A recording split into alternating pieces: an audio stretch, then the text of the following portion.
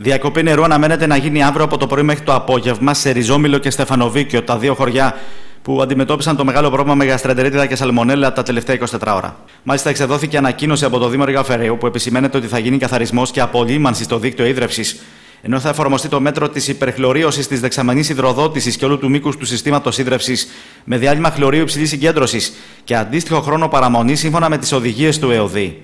Οι κάτοικοι όμως και στα δύο χωριά παραμένουν ανήσυχοι, ενώ πλέον η τροφοδοσία γίνεται με εμφιαλωμένο νερό σε καθημερινή βάση. Η επόμενη μέρα μας βρίσκει σε μια πλήρη κινητικότητα.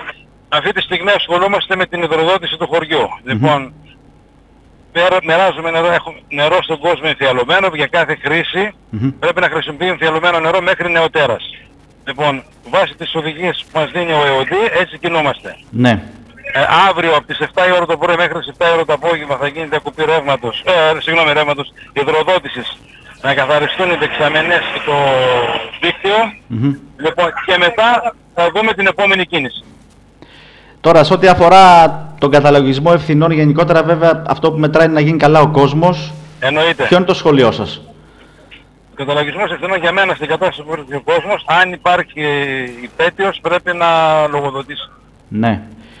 Ε, αυτή τη στιγμή έχετε εικόνα για το αν μειώνονται ή αυξάνονται τα κρούσματα γαστρεντερίτιδας γενικότερα; Ε, μειώνονται, λογικά μειώνονται. Mm-hmm. Λοιπόν, από την άποψη ότι αυτή τη, αυτή τη στιγμή που δόθηκαν εντολές, όλος ο κόσμος δεν καταλαβαίνει νερό ναι. από το δίκτυο.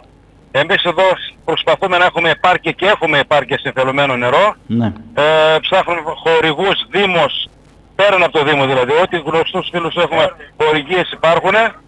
Λοιπόν, δεν έχω έλλειψη θελωμένου νερού.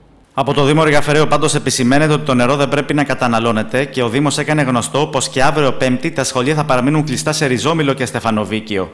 Εν τω μεταξύ, στην παιδιατρική κλινική του νοσοκομείου του Βολού νοσηλεύονται δύο παιδιά από οικογένεια του Δήμου Ρίγα Φεραίου που εμφάνισαν συμπτώματα γαστρεντερίτιδας. Όπως δήλωσε ο πατέρας τους, και τα δύο παιδιά είναι στην παιδιατρική, ευτυχώς όμως τα χειρότερα πέρασαν, διότι οι προηγούμενες ημέρες ήταν εφιαλτικές, είπε, με τους γιατρούς να δίνουν μεγάλη μάχη.